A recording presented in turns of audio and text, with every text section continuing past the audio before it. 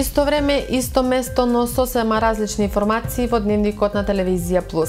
Останете со нас, започнуваме по кратките најави. Заев, време е да донесеме подобар живот. Редовно се чистат дивите депонии. Културно-уметничка програма за 4 годишни времења.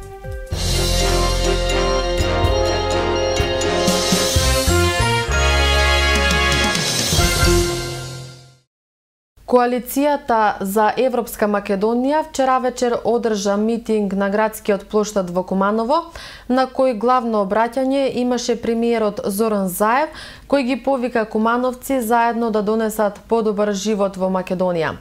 Упати и порака до ВМРО ДПМНЕ да не го бойкотираат референдумот, а за глас за во ЕУ и НАТО повика и градоначалникот на општина Куманово Максим Димитриевски и ракометарката Александра Боризовска. Време е за вистински патриоти, за оние кои преземаат акција, кои го почитуваат минатото, но нивниот поглед е фокусиран во иднината. Време е да донесеме подобар живот во Македонија. Време е на 30 септември да донесеме одлука со која ќе се гордееме, одлука за идните генерации. Порача вчера вечер пред Кумановци председателот на СДСМ и премиер на Република Македонија Зоран Заев на трибината излези за Европска Македонија. Тој рече дека го решиле спорот со Грција и дека се зајакнал македонскиот идентитет и македонскиот македонскиот јазик кој се впишува во ризницата на светските јазици, но нагласи дека е потребно да се поднесе одговорност за Европска Македонија.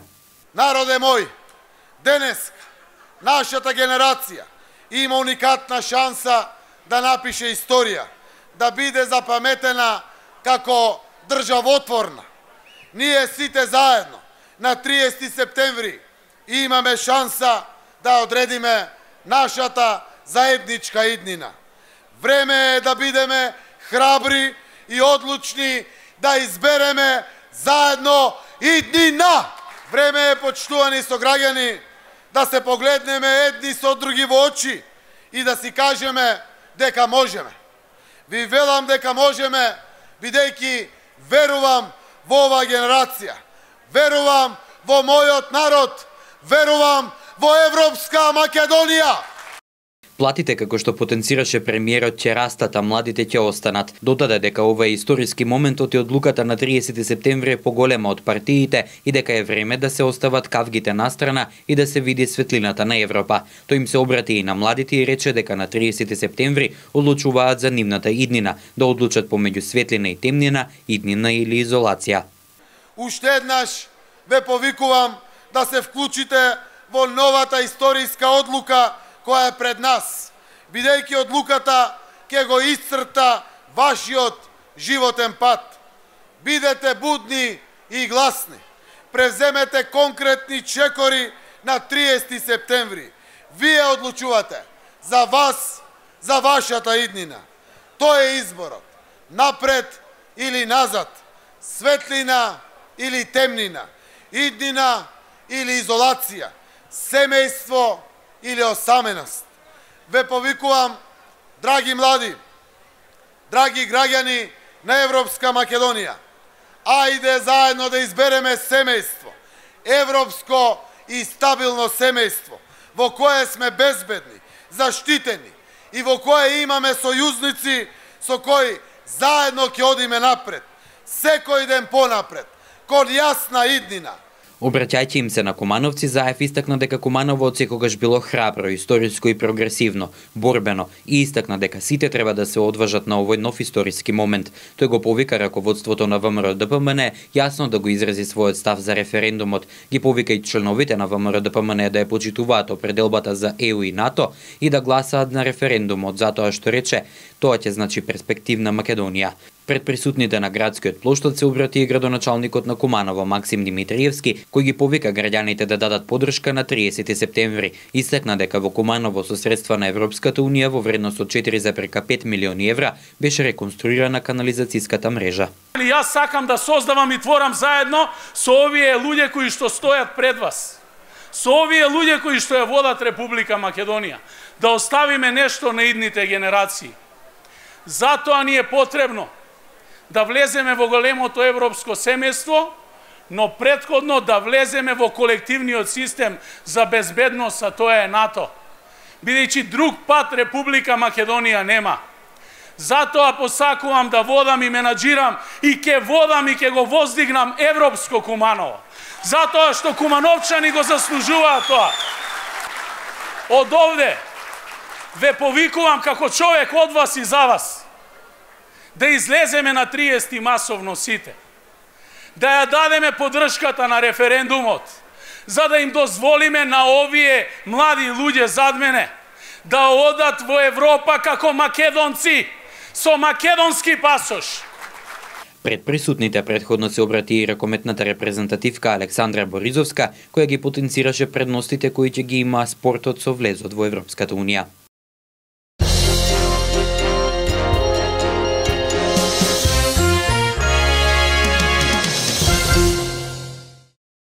Председателот на НСДП Тито Петковски оствари средба со членови на Обштинската организација во Куманово, вклучително и со членовите на локалниот извршен и надзорен одбор на партијата. На средбата Петковски истакна дека по 74 години постојање на државата, од првото заседание на АСНОМ не е едноставна работата да се прифати новото име на државата. Сосема разбирливо е зошто голем број на граѓани го прифаќаат овој чин со жалење, тага и револт но истовремено и со олеснување поради европската иднина на земјата и идните генерации, станува збор за возвишени вредности, како што се гаранциите за стабилност и безбедност на државата, која допред само една година беше целосно изолирана од меѓународната заедница, рече Петковски пред членовите на НСДП. При тоа порачувајќи дека граѓаните треба да веруваат дека со тој чин ќе се обезбеди побрз развој на Република Македонија, подобар живот на идните генерации и надминување на трагичната поделба на македонското општество по сите основи, вклучително и на чувството на недоверба во се што е и поинакво и исполнето со страв и омраза.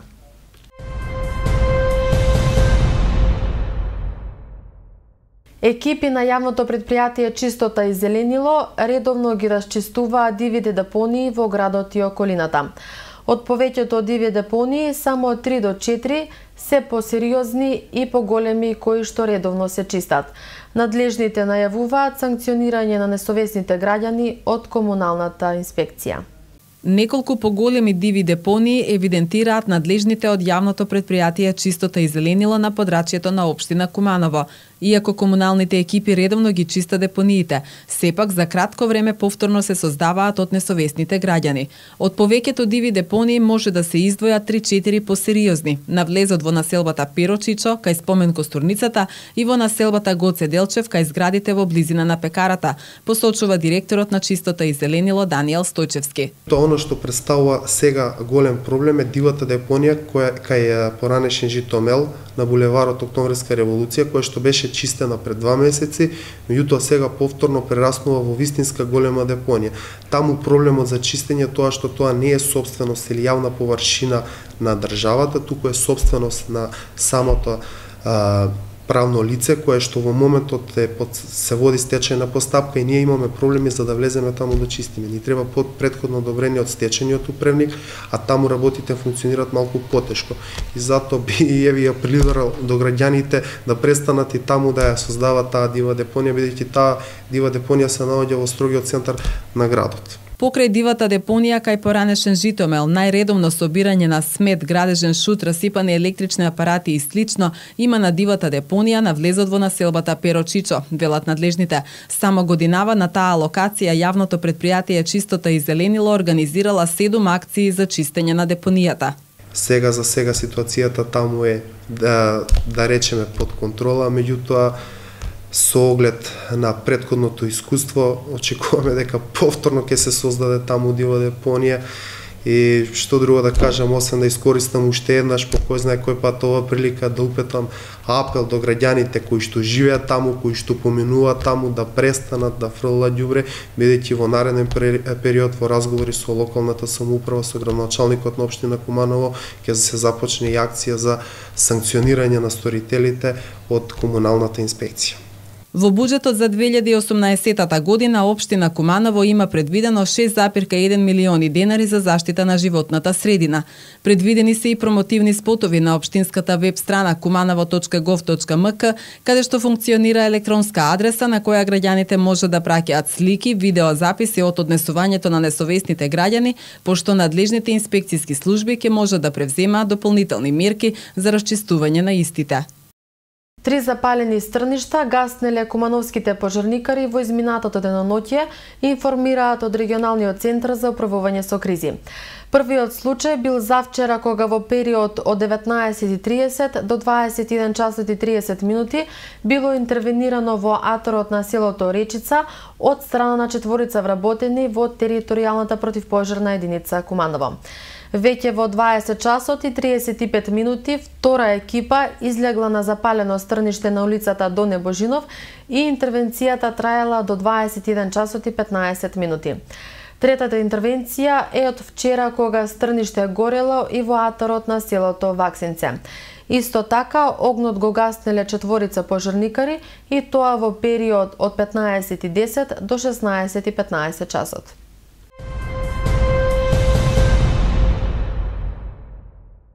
Во електронскиот систем на управата за јавни приходи за персонален данок годинава ќе мора да се регистрираат и пензионерите. Тие што не знаат како да го направат тоа, ќе мораат да овластат друго лице да го направи тоа за нив. Рокот на пријавување е до 31 декември и пензионерите ќе мора компјутерски до управата за јавни приходи да поднесат колку вкупно изнесуваат нивните примања во годината.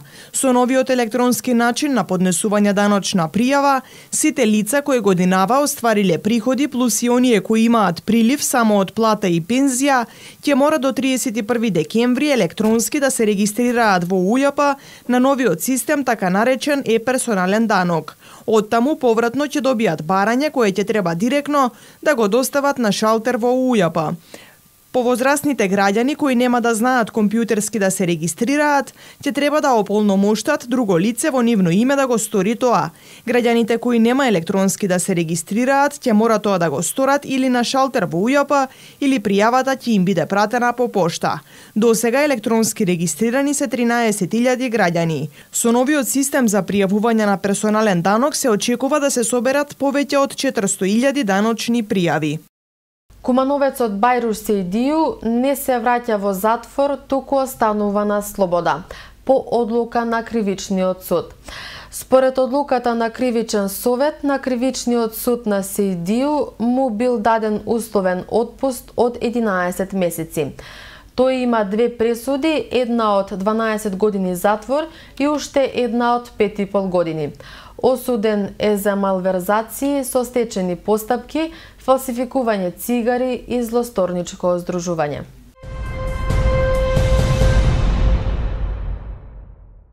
Во пресред на 2019 кога се одбележуваат 500 години од постоењето на градот, Сдруженијето на граѓани Стартер проект заедно со општината, Фондацијата за култура и спорт и Центарот за култура организира богата културно-уметничка програма за 4 годишни времиња. Сдруженијето на граѓани Стартер проект во соработка со општина Куманово, Фондацијата за култура и спорт и Центарот за култура во пресрет на 2019 година кога се одбележуваат 500 години од постоењето на Куманово, организира културно-уметничка програма насловена по 4 годишни времиња. Идејата, соопштија организаторите, е да се промовираат културни и едукативни манифестации во Куманово, наменети од најмалата до највозрасната популација и да се одаде почит на генерациите кои го граделе Куманово. На 15 септември на аеродромот Аджитепе најмалите ќе летаат змејови. Настанот го организираат учесници на детската ликовна колонија. Организаторите ги повикуваат сите заинтересирани граѓани да ја збогатат манифестацијата. Наредниот период следува и концерт на групата Кара и промоција на новиот албум. На 22 септември, кога и официјално започнува есента, на иницијатива на градинката Ангел Шајче и на Стартер проект, ќе се организира настан во Пелинце, каде што низ игра најмалите ќе го поминат првиот ден од есента во природа. Кон крајот на септември ќе биде изведена представата Физика на тагата. Наредниот период следуваат детски работилници за рециклирање, перформанси, изведба на детски представи и настапи на балетски групи. На шестата копаничарско-ликовна колонија, која што изминатава недела се одржа во комплексот етносело Тимчевски, уметниците изработија десетина дела. Колонијата е во организација на Сдруженијето на копаничари на Македонија, поддржана од Министерството за култура. Десетина копаничари од Македонија и Србија изминатава недела учествуваа на шестата меѓународна копаничарско-ликовна колонија етно село Тимчевски. Уметниците, разбарејќи на ореово дрво, изработија десетина уметнички дела со мотиви од флора и фауна, а секако не изостана и оние најзастапените. Делата изработени од црковни мотиви и тоа со ликовите на најпознатите и најголемите светци од христијанската религија. Колонијата беше организирана од Сдруженијето на копаничари на Македонија, а поддржана од Министерството за култура. Годинава на колонијата учествуваа 8 копаничари и по еден ликовен уметник и гравер на метал, од кои 8 мина од земјава, а двајца учесници од Крагуевац, Република Србија. Посебен белек на овогодинешната колонија Етно село 2018 остави и учеството на еден од најголемите македонски ликовни уметници, сликари и хуманисти Живко Поповски Цветин, кој досега во својата тридецениска кариера има насликано над 60.000 слики со цветни мотиви, од кои што над 50.000 ги има подарено. Од неговите слики 14 се подарени за доплатни поштенски марки со наслов Република Македонија цвеќе на мирот, а само за струшките вечери на поезијата досега сега подарил над 3000 слики. Организаторот на колонијата, Сдруженијето на копаничари на Македонија, постои од 1993 година, а брои околу 80 уметници. Резбарените дела најчесто ги изработуваат од ореаово дрво, а работат и со дрво од липа и круша. До сега Сдруженијето има реализирано 31 изложба. Главната цел на ова здружение е да ја продолжи македонската копаничарска традиција, која што на овие балкански простори обстојува повеќе од два века, но секако и да ја продолжи традицијата на најдобрите македонски копаничари Петре Филиповски Гарката и семејството Фрчковски. Изложбата Landscapes е содржана на 20 на дела, изработени на плексиглас и комбинирана техника со извонредна технолошка вештина во комбинирањето на врзивата и боите во еден современ сплет, апликации и провидност која е одраз на оваа сликарка. Изложбата е поддржана од Министерството за култура.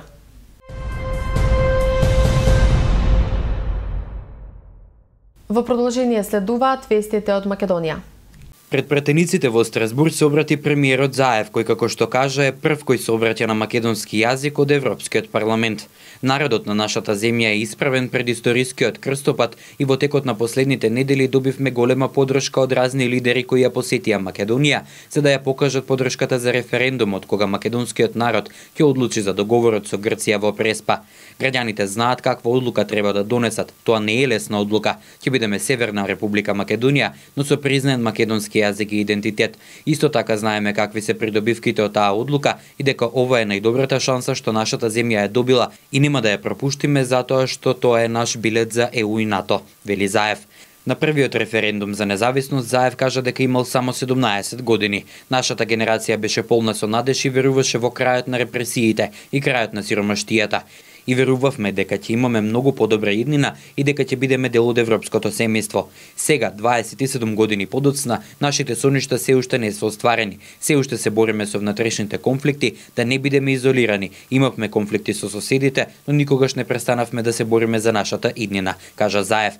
Тој вети пред европретенисите дека владата прави се за да се постигнат критериумите на Европската унија, владењето на правото, борба против корупцијата и професионална администрација. Одговорници седмицата пред претениците на Европскиот парламент им се заблагодари на колегите Борисов и Ципрас, на кои исто така рече дека не му е лесно. И двајцата се откажавме од нешто, но постигнавме многу. Верувавме дека имаме добар договор што го потврдува нашиот идентитет, но и иднина на двете држави, вели Заев. Акционерското друштво Електрани на Македонија на 7 септември продаде вишоци електрична енергија во количина од скоро 100.000 мегават часа за сума од 6,5 милиони евра. Просечната цена што се постигна беше 66,01 евро за мегават час, соопшти компанијата.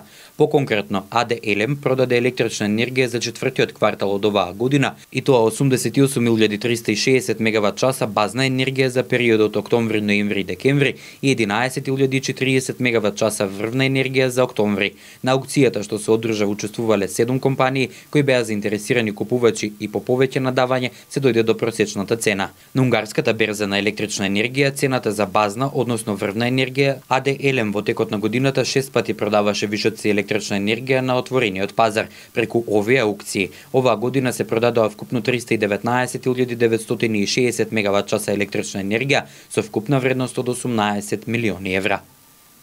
Вице-премиерот задолжен за европски прашања Бујар Османи се сретна со министерот за Европа и надворешни работи на Република Албанија Дитмир Бушати. Двете земји добија јасна и прецизна временска рамка за почеток на преговорите со Европската Унија во јуни в година, вклучувајќи јасни и прецизни насоки и забелешки за успешноста на тој процес, што представува дополнителен потик за заекнување на и онака добрата соработка помеѓу двете земји, истакна Османи. Тој додаде дека од Бушати добил уверување од Албанија како земја членка на НАТО ќе искористи оваа позиција за да ја помогне на земјата на патот кон низиното полноправно членство во Северноатлантскиот сојуз. Уставниот суд на Република Македонија на 21-та седница закажана за 19 септември со почеток во 9 часот и 30 минути ќе ги разгледува иницијативите за оценување на уставноста и законитоста на одлуката за распишување на референдум донесена од Собранието на Република Македонија на 30 јули 2018 година. Доколку Уставниот суд ја прифати иницијативата на Светскиот македонски конгрес, може да ја поништи одлуката за распишување на референдум веднаш или да донесе времена мерка до одлучување со што се суспендираат сите поединечни действија и акти со цел а заради спречување на штетните последици по буџетот и даночните обврзници, правата и слободите и внатрешниот правен поредок на земјата. Иницијаторите се надеваат дека референдумот нема да се одржи бидејќи според нив одлуката е спротивна на уставот и законот за референдум.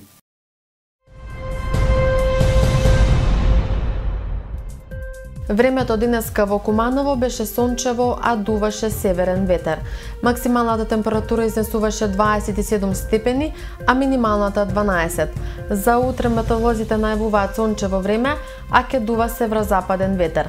Дневната температура ќе достигне до 28 степени, додека утринската ќе се намали до 12 степени Целзиусови.